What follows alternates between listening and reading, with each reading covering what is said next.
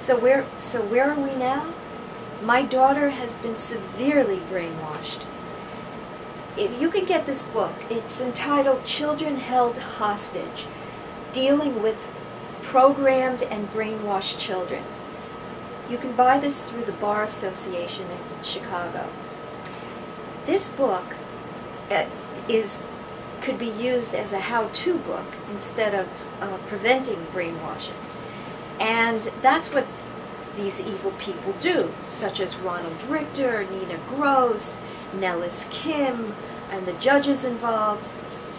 And on page 142, identifying and dealing with the point of no return. That's where little Dyandria is at. She's at the point of no return. She will never, ever uh, go home to her mother.